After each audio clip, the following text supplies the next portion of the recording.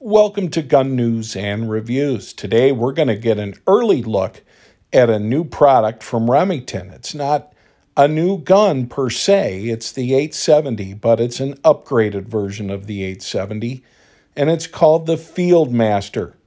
It's meant to be a higher quality gun than the presumably discontinued Express. This version of the 870 is called the Fieldmaster. It's not the first time Remington has used that name. The old 572 Pump Action 22 shared that name. Of course, you know about the Wingmaster. You might know about the 513 Matchmaster. We reviewed that one. Both the Model 81 and the Model 742 were called the Woodsmaster, and the 510 was the Target Master. So we're glad to see that tradition continue. Looking here at the top of the receiver, you can see that it's already been drilled and tapped to accommodate mounts. That's nice, especially if you like a longer sight radius with a slug gun. But overall, what this is, as said before and I'll say again, is just a really nice version of the 870. It is definitely better than any of the Express models that I've ever been familiar with. And it does more remind me of Wingmaster type quality. So I'm going to have to give it to him on that. Very nice looking uh, firearm all the way around. Looking at it from the back going forward, you can see this is uh, American walnut. It is manufactured uh, at Remington's Lexington plant. I had some things to say about some of the newer production after Remington reopened last year and some things I saw on store shelves which did not look like quality. We covered that in a video, and uh, a lot of people made comments about it. Death of Remington, how could they make something like this? But what it did was, uh, at least in the case of Remington, got their attention and they reached out to me. Now, Remington had a decision to make in terms of coming back as RemArms under new ownership uh, with some of the same management. I spoke to Ken D'Arcy, who's the CEO at RemArms, and Ken indicated that the advent of this version of the 870, which is the Fieldmaster, was because the Express was killing them. In other words, they were in a situation where they were trying to compete with Mossberg and some other import shotguns, which were going for $250, $350 a piece.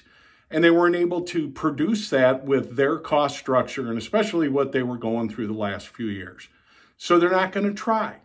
They're going to try to make the 870 more like the 870 of old and more specifically with the kind of quality you would have expected from the Wingmaster.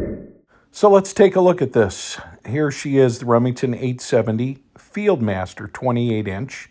It comes with three chokes. This particular one is 12 gauge.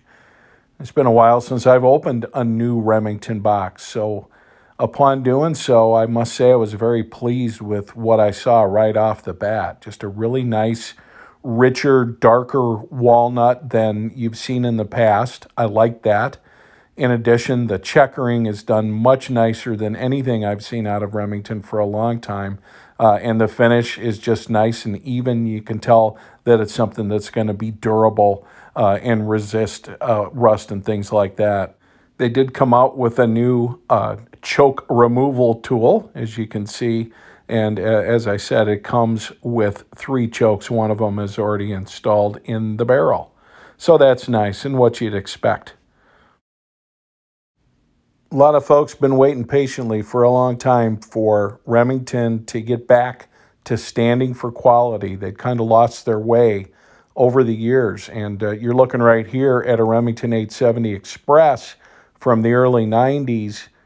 And this is the new Fieldmaster. And we want Remington to be at least as good as they used to be. I've been told by their CEO that they're aiming higher than that.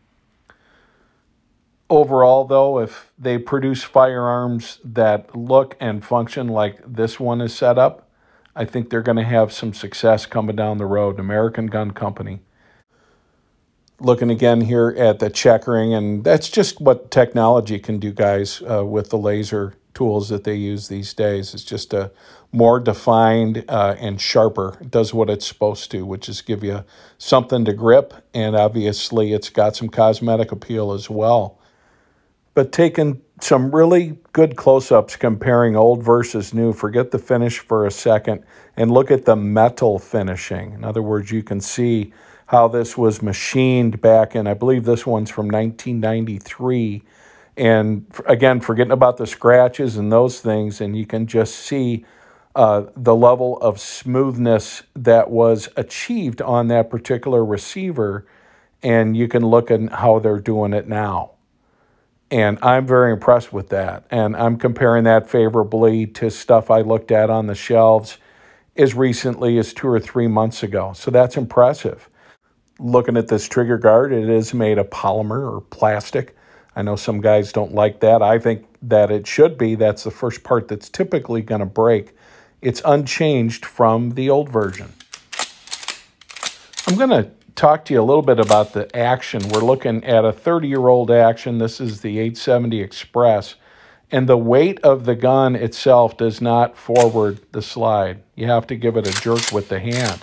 Now you're looking at the 870 Fieldmaster, brand new, hasn't been worked in or anything. Watch. It's amazing. Biggest reason for that improvement on the new version, they're doing what's called tumbling the action bars, which is some extra machining, which is going to make them run a lot more smoothly. I also noticed a difference in the little button you press to release the slide and it's smaller on the old 870 than it is on the Fieldmaster. So that's interesting. Also, you're looking here at the extraction claw on the older version of the Express. This is the new extraction claw.